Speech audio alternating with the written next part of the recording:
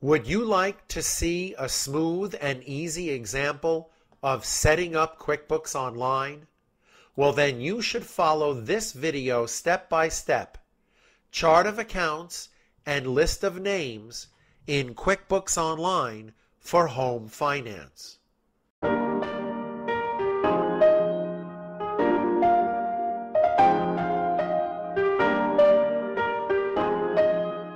If you have any questions about this topic, you can leave them in the comments section below and I'll do my best to help you. And of course, if you feel the video helped you, I hope you will click like and don't forget to subscribe to get updates on new videos that come out all the time. You must prepare your chart of accounts in QuickBooks Online. An account is simply a record of transactions. You need a separate account meaning a separate record for each operating account you have, which means you need a separate record for each bank account you have and each credit card account you have. You also need an account, meaning a separate record for each expense category you have. You need a separate account record for each general income source you have. And of course, you should keep a separate account to manage the cash that comes and goes to and from your pocket. Now, here are the example operating accounts that we will use in the QuickBooks Online Home Finance course. We have a bank account in Chase Bank. We have a bank account in M&T Bank. We have a credit card with Capital One and we have a credit card with Citibank. And of course, you need a separate record for the cash on hand. So we are going to add these accounts to the QuickBooks Online chart of accounts so we can record transactions in these records as they come up. Now, here are the accounts that we're about to put in to the QuickBooks Online chart of accounts. And you may notice that each of the accounts has a name, a type, and a detail type. And you have to put in all three pieces of data before QuickBooks Online will allow you to save the account in the chart of account list. So what is account name? Well, the name can be anything you want as long as you know what it means when you look at that number on your financial reports. Exactly what you type into the name field will be exactly how it is shown on the financial reports that we discussed in a prior video. Account type determines what type of transactions can be recorded into that account. And it also determines which financial statements and reports that account will show up on. It also determines the position of that account in the report that the account will show up on. And the detail type is another piece of data that's usually not relevant. Sometimes it would add functionality to an account, but that's very rare. We will not need this in the QuickBooks for Home Finance course, but we must tell QuickBooks Online the detail type of the account or QuickBooks Online will not allow us to save the account on the list of accounts. So here are the first five accounts that we're going to put in to QuickBooks Online.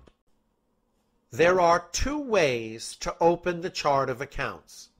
You could click the cogwheel in the top right and then go over to chart of accounts or from the left panel menu you could click accounting chart of accounts.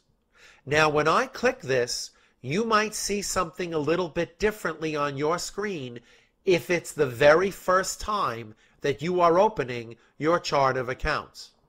You see, when I open my chart of accounts, I get a list of the accounts that have already been placed in the chart of accounts by QuickBooks Online.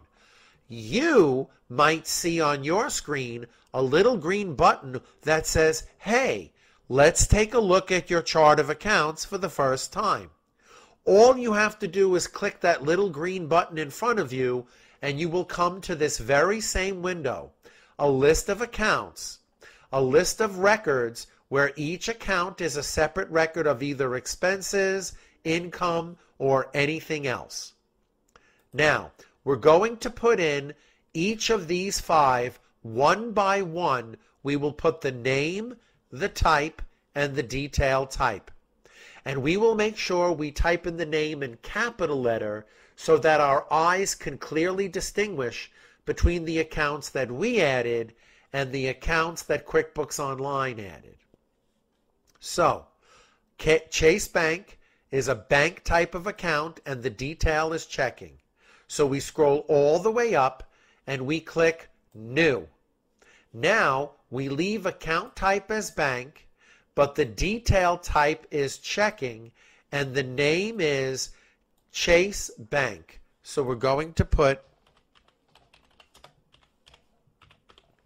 Now, instead of clicking Save and Close, we will click Save and New. And that will save the account on our list of accounts without closing the window. The next one is M&T Bank, which is a bank type of account and it's savings. So this is bank, this is savings, and this will be M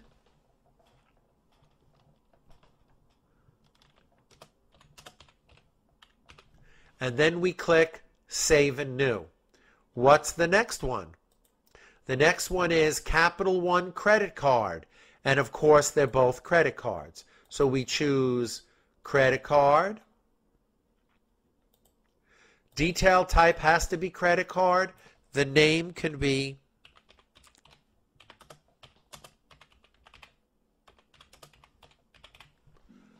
Save and New. Then we have Citibank credit card.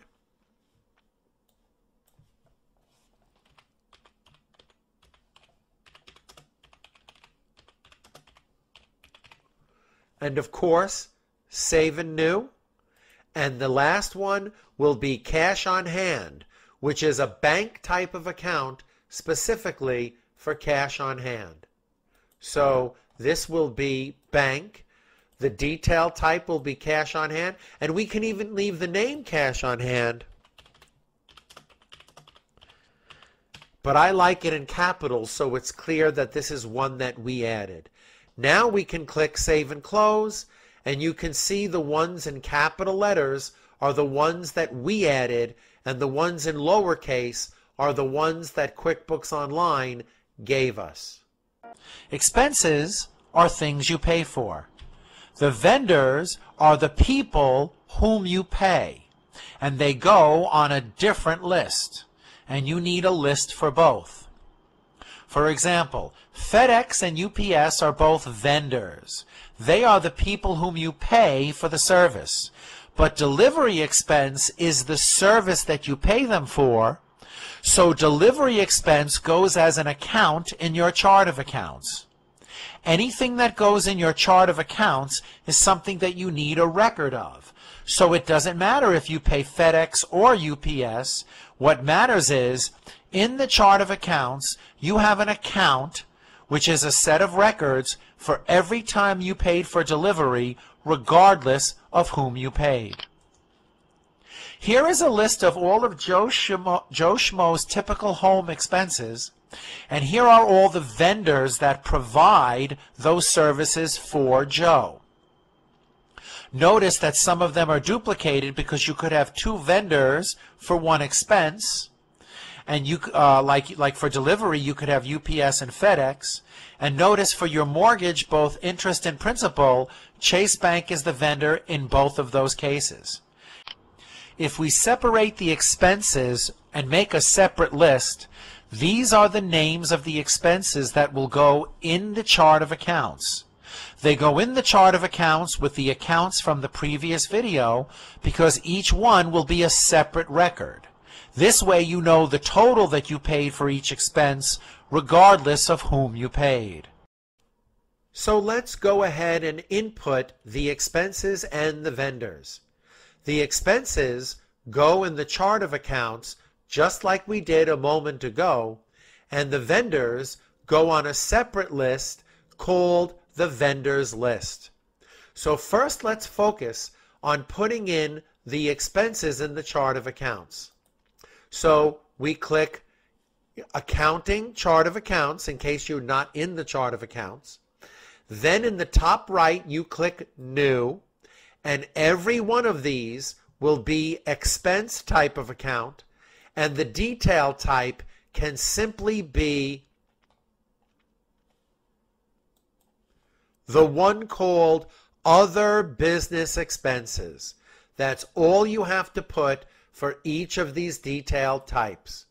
The name of the first one is delivery. And then we can do save and new. After delivery, we have vet bills. So we can put then save and new. After vet bills, electric expense.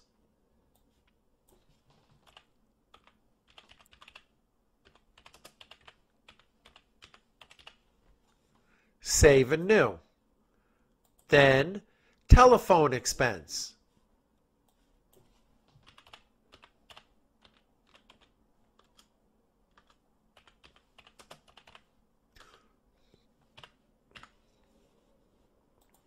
Then mortgage, or at least the principal, we'll put in mortgage interest and principal as separate accounts. So we will put mortgage, which is really not an expense, but we will get to that later. Interest. And the last expense is bank fees.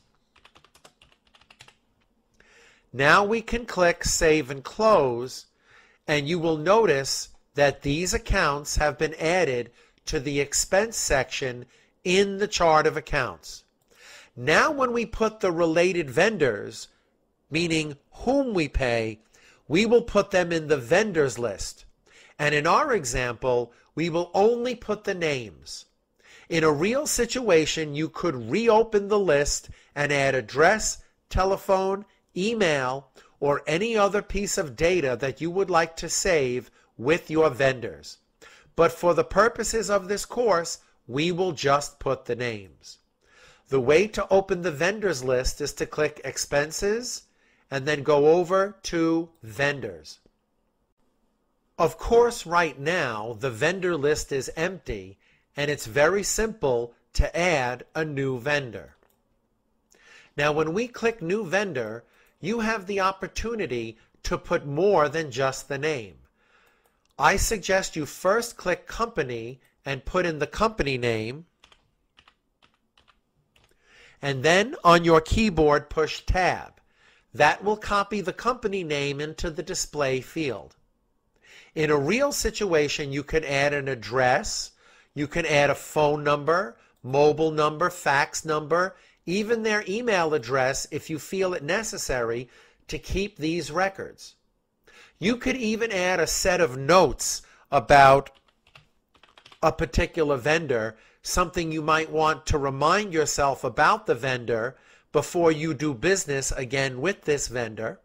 And you could put that in the notes and keep track of it that way even attaching files like pictures or documents to the vendor information. We will not. We will simply put the name so that we can use the vendor for our home finance transaction. And when you click Save, notice that vendor has been added to the list.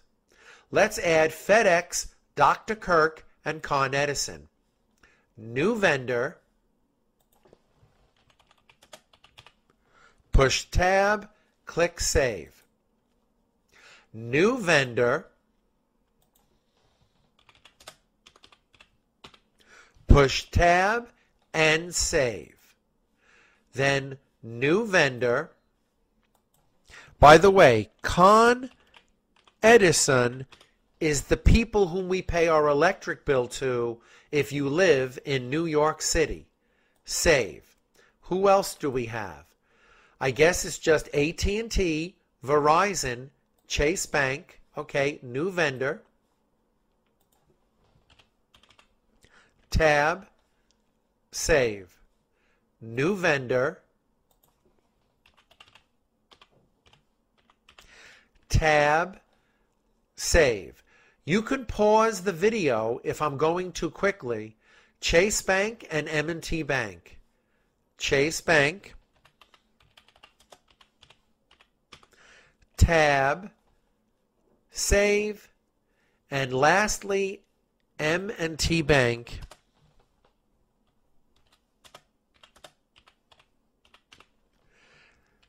Tab and save. Notice we have a list of vendors that we could reopen. You can always double click the name to see just the records for that vendor. Then of course you could click edit to go back to that vendor's specific area of data. Income accounts will go on the chart of accounts and they will show you why and where the money came in from. However, customers are the people whom you received the money from. So for example, if Joe Schmo has four separate income sources, they would be listed this way. Bartending job weekdays, bartending job weekends, landscaping, and bank account interest. For each of these four income sources, there's a person or a company that has to be put on the customer list so we know who the money is coming in from. For example, his weekday bartending job, he works for Molly's Saloon. However, his weekend bartending job, he works for the Beer and Go. Both of these are the names of the bars that he works for, but when he earns the money, it goes into bartending income. He does landscaping for a guy named Dave Parada, and of course, he gets bank account interest as one of his sources of income, and that would be Chase Bank. These four individuals would go on his customer list so he could track exactly how much money came in from each customer and find his transactions that way. Each of these four income sources would go in the same chart of accounts that we have been using all along, but they will be income type of accounts. Let's take a look at how to record this. Let's track both bartending jobs together in bartending income and keep the others separate. So for the chart of accounts, we click Accounting, Chart of Accounts. Then in the top right, we click New. Now these will all be income accounts and the detail type will simply be Other Primary Income. So for the first one we type in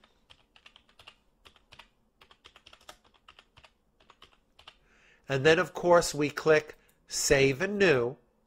The next income account will be landscaping income.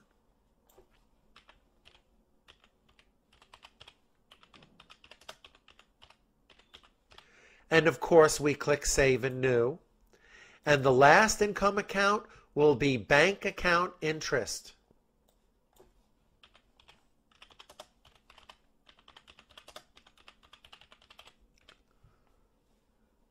And then because this is the last one, we can click Save and Close. Now we know that a person doesn't really have customers, but the people or the organizations that pay us should go on the customers list.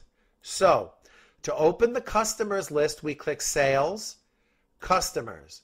Notice it looks exactly like the vendors list, which we already know how to manage. In the top right, we click New Customer, and we see the same set of data that we saw a moment ago for vendors. And we manage li this list the same way. Company, we go push Tab, and then click Save. And now Molly's Saloon is here on the list of customers. And then, of course, we can click Sales, customers to go back to the list. We have the beer and go, no problem. New customer,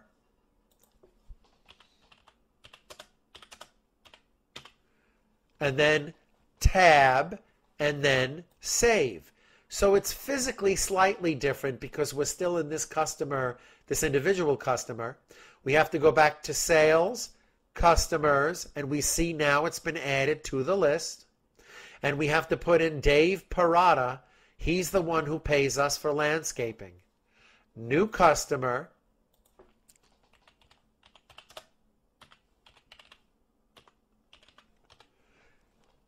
Tab, save. Now after we save, we're in his records, so we have to go sales, customers, to go back to the main customer list. Then in the top right, new customer, and we'll put Chase Bank.